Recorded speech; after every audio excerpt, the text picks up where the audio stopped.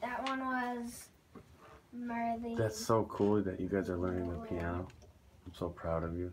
Mom, now I'm going to show you two of my second favorites.